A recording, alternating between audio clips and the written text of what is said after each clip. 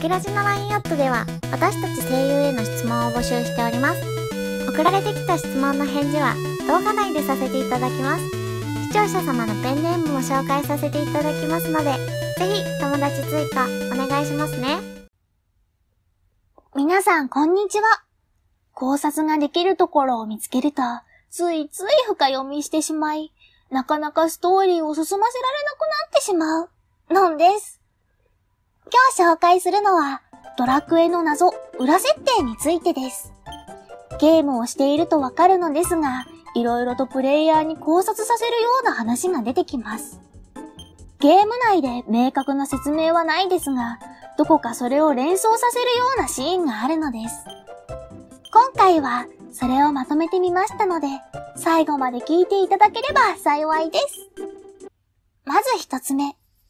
ドラクエ6のエンディング後、世界がロトの世界と天空の世界に分かれたという設定があるらしいです。デスタムーアが作り出した夢の世界が天空の世界となり、現実の世界がロトの世界になったというもの。天空の世界はマスタードラゴン。現実の世界アレフガルドには大地の精霊ルビスがいます。ルビスはドラクエ6で海底にある城にいて、主人公の後押しをちょいちょいしていました。アレフガルドは3よりも前にルビスが作ったので、時系列的には3よりも6が前ということになるのでしょうか。そして二つ目、エスタークはダークドレアムだったということです。ドラクエ6に出てきたダークドレアムという最強の裏ボス。デスタムーアを瞬殺するほどの戦士ですが、実はこれが、後にドラクエ4、5に出てくる、あのエスタークではないか、という説が。エスタークは眠り続けている破壊の神。ダークドレアムは夢を見続ける破壊の神という設定ですので、まさに表と裏の関係。そして6の当初の設定では、主人公だったテリーが裏エンディングでダークドレアムの元へ行っているところから、テリーがドレアムになったという説が存在します。しかし、このテリーはモンスターズで主人公だって夢の世界のテリーという噂もあります。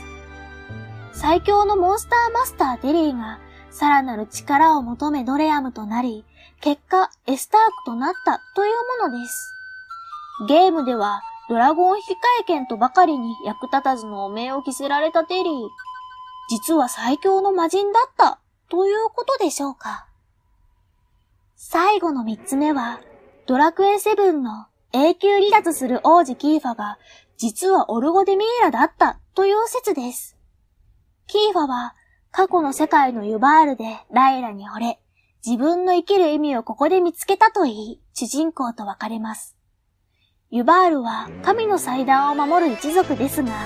実は守っているのは神様ではなかったというオチの悲しい人たち。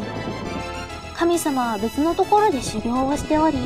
神様が復活するイベントで復活したのは、なんとオルゴデミーラという怪物だったのです。キーファがなぜオルゴデミーラになったのかは、いくつか理由があります。まず、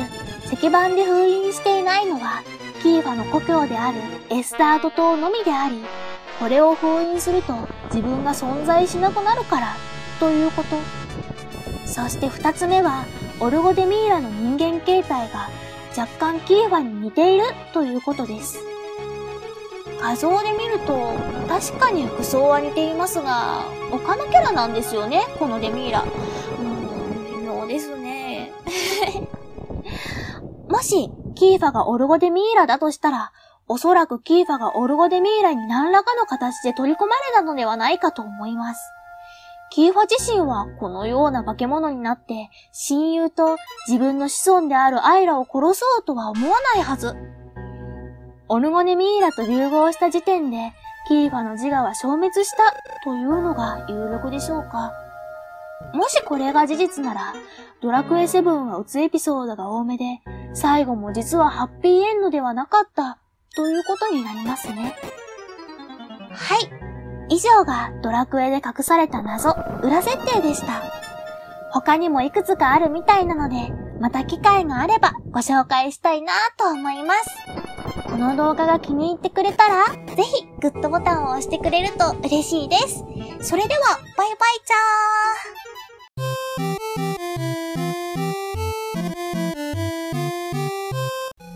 私たちの声を早く聞きたいって方には、チャンネル登録をおすすめしてます。